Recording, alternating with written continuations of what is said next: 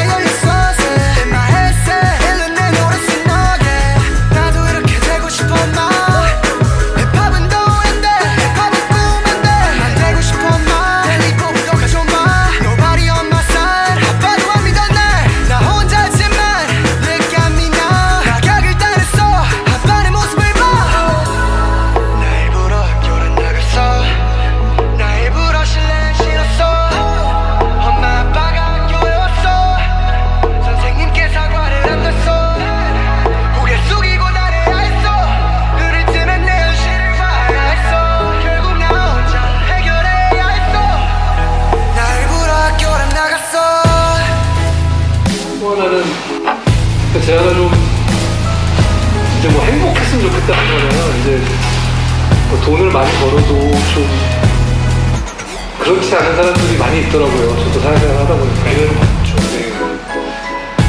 제아가 좀 그냥 무너지지 않고 오랫동안 살아남아 살 수 있는 사람이 됐으면 하는 게 사실 저의 그 가장 큰 바람입니다.